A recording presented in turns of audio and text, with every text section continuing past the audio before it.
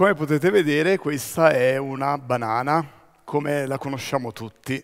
È grande, dolce, buona, senza semi, ma non è così che Madre Natura l'ha concepita. Ecco com'era una banana circa 7000 anni fa. E certo non è un bel vedere e con tutti quei semi non era proprio la nostra banana ideale e così l'abbiamo domesticata, selezionando i frutti migliori, piantando i loro semi, facendo crescere le piante, selezionando di nuovo i frutti migliori e così via, fino ad ottenere la banana ideale, la Cavendish, quella che conosciamo oggi, che costituisce circa il 50% delle piante di banano nel mondo. Caratteristiche quali la dolcezza, la grandezza, la resistenza a patogeni sono trasmesse da una generazione all'altra attraverso il DNA, che è contenuto in ogni cellula di ogni essere vivente. Il DNA è una lunga catena di basi azotate, chiamate adenina, guanina, citosina e timina, che eh, costituiscono il codice della vita. Così come una sequenza di lettere forma delle parole, così una sequenza di basi forma dei geni che hanno un inizio, una fine ed una lunghezza di alcune migliaia di basi. Alcune caratteristiche sono del tipo tutto o niente. Ad esempio, una banana, una pianta, può essere resistente ad un patogeno oppure no. Caratteristiche di questo tipo vengono dette monogeniche e sono dunque trasmesse da un solo gene. Chiamiamolo il gene della resistenza. Se la pianta eredita la versione corretta del gene della resistenza, allora sarà resistente, altrimenti non lo sarà usato il termine corretta in quanto durante la copia del DNA da una generazione all'altra possono essere introdotti dei piccoli errori, chiamate mutazioni, che possono alterare uno o più tratti, che se vantaggiosi vengono mantenuti ed espansi nella popolazione. E questo è alla base dell'evoluzione e permette alla pianta di adattarsi ad un nuovo ambiente e di competere con altre specie. A differenza della resistenza, non esiste tuttavia il gene della dolcezza. Allora, come viene trasmessa questa informazione da una generazione all'altra? Questo è un esempio di tratto poligenico, cioè contenuto non in un solo gene, ma in decine, centinaia e a volte migliaia di geni. I tratti di questo tipo sono di solito graduali, ad esempio una banana può essere poco dolce, mediamente dolce, dolce oppure dolcissima. Anche l'uomo è cambiato nel corso degli ultimi 7000 anni. Abbiamo dovuto adattarci, ad esempio, in Europa a vivere qui con il suo clima più freddo e a dipendere da altre specie, come le vacche d'allevamento, acquisendo così tolleranza al lattosio e perdendo probabilmente la necessità degli occhi scuri per difenderci dal sole dell'Africa, acquisendo così altri colori. Altri tratti che sono in evoluzione sono ad esempio la perdita dei denti del giudizio e sembra anche la riduzione della massa cerebrale.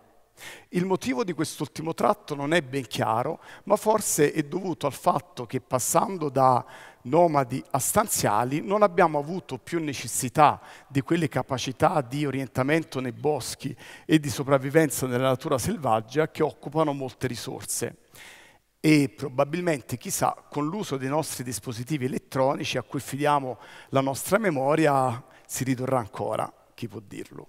L'evoluzione eh, dell'uomo procede dunque senza sosta.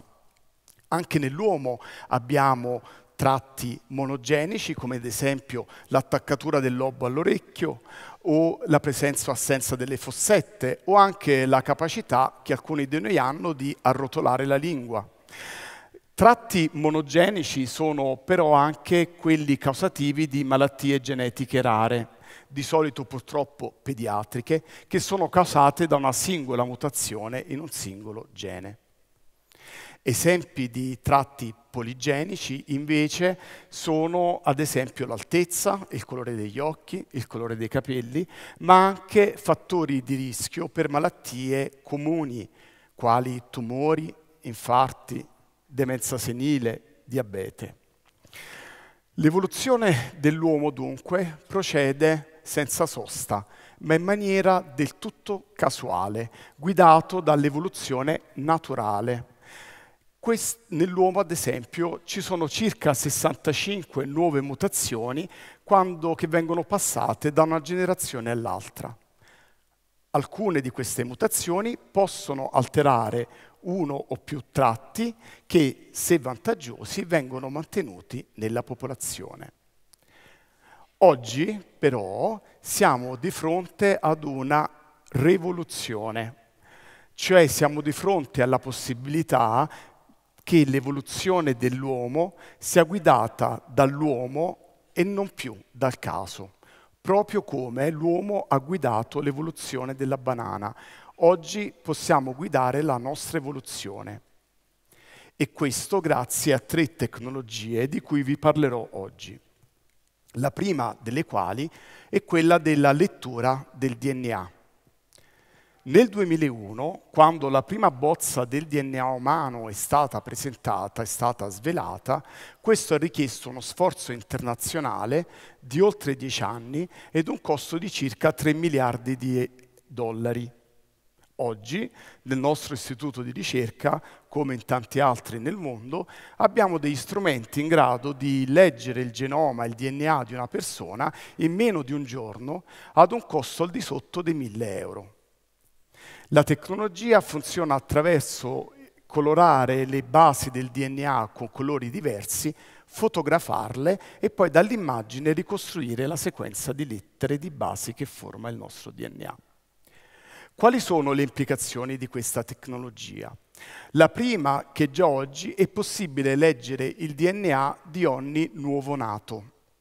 Possiamo quindi individuare quelle mutazioni che per esempio causano malattie genetiche rare, alcune delle quali sono azionabili, nel senso che esistono terapie per prevenire o ritardare l'insorgenza della malattia. È possibile leggere il DNA anche prima della nascita e addirittura prima ancora del concepimento, grazie alla tecnica della fertilizzazione in vitro, in cui l'ovulo viene fecondato in provetta. In alcuni paesi è già permesso leggere il DNA dell'embrione prima dell'impianto per identificare quelle mutazioni, la presenza di mutazioni letali e quindi non compatibili con la vita. In questo caso, in questi paesi, l'embrione viene scartato e non viene impiantato. Prevedo che nei prossimi dieci anni, con l'aumentare del numero di persone il cui DNA sarà letto, saremo in grado di predire con più accuratezza anche tratti poligenici. Quindi, come vi ho detto, ad esempio, fattori di rischio per malattie comuni, Sarebbe dunque possibile associare ad ogni embrione prima dell'impianto qual è il rischio che l'individuo che nascerà dall'embrione svilupperà, ad esempio, tumori. Ovviamente selezionare l'embrione in, in, base alla presenza di queste mutazioni e di, di tratti poligenici desiderati non è eticamente accettabile e anche praticamente impossibile, dato la natura completamente casuale della presenza delle mutazioni dell'embrione e anche il numero elevato di mutazioni che conferiscono un tratto poligenico. Oggi però tutto questo sta per cambiare, anzi è già cambiato, grazie ad una scoperta di due scienziate che hanno individuato nel batterio dello streptococco, quello che causa la faringite, una proteina che vedete alle mie spalle chiamata Cas9, la quale può essere utilizzata per legare il DNA e inserire, cancellare o modificare una base del DNA all'interno di una cellula umana. Già oggi dunque in laboratorio possiamo modificare il DNA di una cellula in una singola base. E quindi anche dell'embrione prima dell'impianto. Questa tecnologia, insieme a quella della lettura del DNA e della fertilizzazione in vitro, è davvero rivoluzionaria per genitori affetti da malattie genetiche rare ed anche eticamente meno controversa, in quanto l'embrione con la mutazione deleteria, invece che essere scartato, può essere semplicemente corretto inserendo la mutazione, la base corretta al posto della mutazione deleteria. Dopodiché l'embrione può essere impiantato e dall'embrione nascerà un individuo completamente sano. La, eh, nel corso dei prossimi dieci anni è possibile prevedere che saremo in grado non solo di modificare una singola base nel DNA, ma decine, centinaia e addirittura migliaia di basi. Questo cosa significa? Significa che potremo conferire all'embrione anche tratti poligenici desiderati, ad esempio basso rischio di malattie oggi considerate comuni. Ovviamente questo apre un dibattito etico e quindi questo è quello che la tecnologia può offrirci. La terza ed ultima tecnologia di cui voglio parlarvi è quella della biologia sintetica, che nasce dall'incontro tra ingegneri come me e biologi come mia moglie, ad esempio. E la biologia sintetica ha come scopo quello di dotare le cellule di nuove funzionalità utili all'uomo o all'ambiente. Lo scopo della biologia sintetica può essere eh, raggiunto attraverso la costruzione di veri e propri circuiti biologici analoghi ai circuiti elettronici che oggi troviamo nei piloti automatici degli aerei o anche nel semplice termostato di casa. Ovviamente ingegnerizzare la biologia non è facile, dato la complessità della cellula ed anche il fatto che questa, a differenza di un aereo, si duplica e si adatta all'ambiente. Per questo nel mio laboratorio stiamo lavorando a tecnologie per la costruzione di circuiti biologici robusti all'interno della cellula. Lo scopo, il futuro prossimo, quindi non lontano, ma quello prossimo della biologia sintetica, è quello di sviluppare veri e propri farmaci viventi.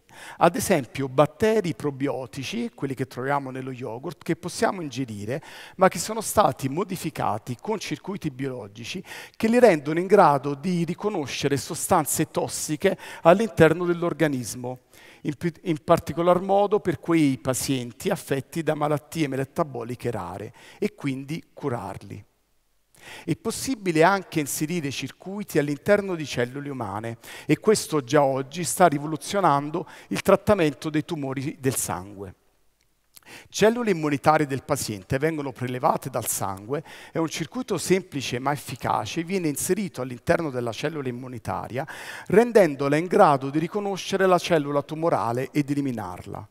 Le cellule così ingegnerizzate vengono reinserite nel paziente e possono in alcuni casi curare completamente il tumore. Ovviamente, come ogni tecnologia, l'uso che se ne fa può essere costruttivo o distruttivo. Ad esempio, è possibile immaginare in un futuro lontano, ma non troppo, che alcuni regimi totalitari possano imporre la fertilizzazione in vitro per legge ed obbligare l'inserimento di tratti poligenici desiderabili per il regime, quali una certa altezza, un certo colore degli occhi, ma anche, chissà, in futuro tratti psicofisici come bassi livelli di aggressività.